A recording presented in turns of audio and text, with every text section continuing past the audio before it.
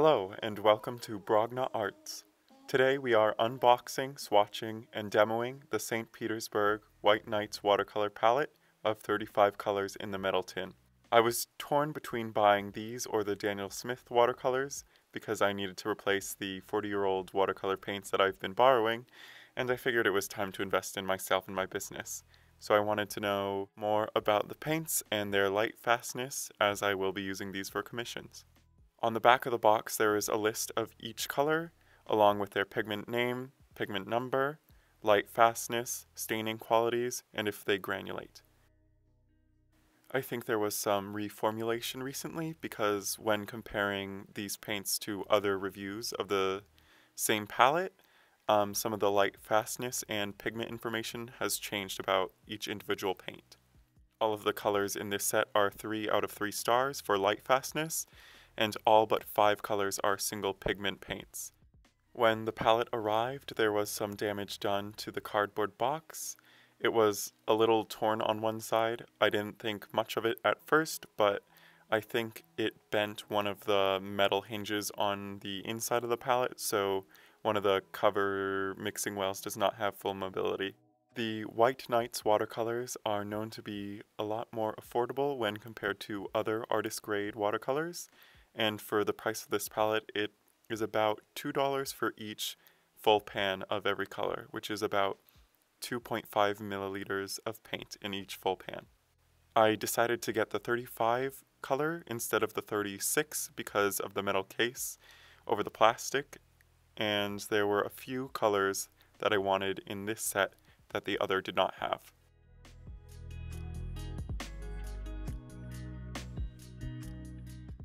I really do like the structure of the metal tin itself because you do have a lot of space for mixing paints and you can also remove the colors themselves if you do need to clean the tin. I'm just sad about the one side being damaged a little, but I might try to bend it back into shape with some pliers or tweezers. There is a mix of different levels of transparency versus opaqueness in the paints. The yellows are pretty opaque, which I ran into trouble a little later.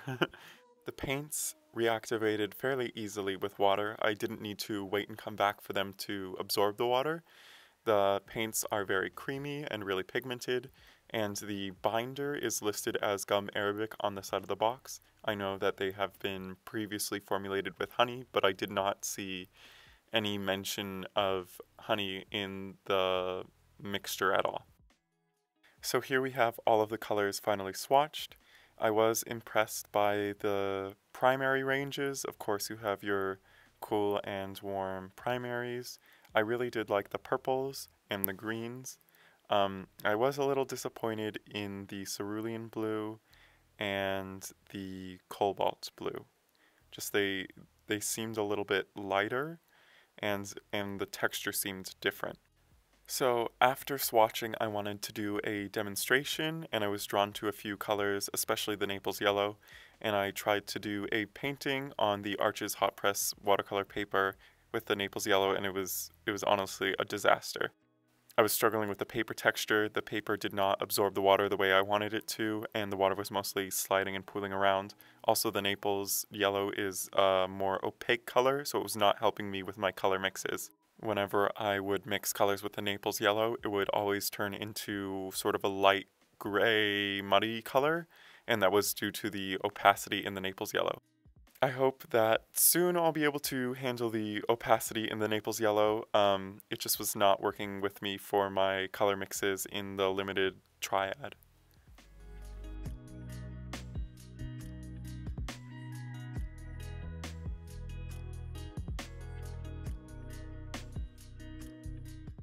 So after I decided to scrap that painting, I decided to do a smaller portrait and I was feeling lazy so I didn't cut any of my Arches cold press paper.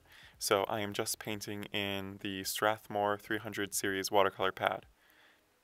I am doing a portrait study of Dominique Jackson today. I love her facial features, but I would not say I am the best at replicating her anatomy, so this was for my practice as well as for your entertainment, and you can decide how well I did. I did an underpainting for this, which I usually don't do, but I was experimenting with giving her skin more depth with the purple, and I also wanted to test how the colors would lift. I didn't have any trouble with the purple lifting, but towards the end, when I was adding glazes of brown to the hair over the Payne's Gray, the Payne's Gray seemed to reactivate, but not necessarily lift. It was kind of mixing. It, it could have been because I did not let the Payne's Gray fully dry, but it didn't seem to happen when I was glazing over the skin. Once again, even in my new camera setup, my head still sort of got in the way a little bit. I'm sorry for that. I don't enjoy filming myself while I paint just because it messes up with my perspective and I cannot see the painting from directly above. So a lot of the um, structures do get skewed a little.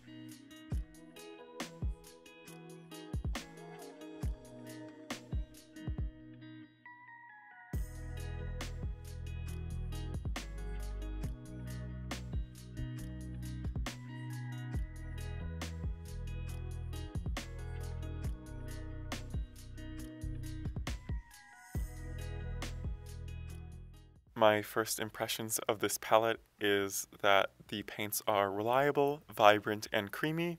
They do mix easily with each other, and they layer nicely. This is just my first impressions, but I do hope that I'm able to use them more in the future and give you a more informed review of the paints in general.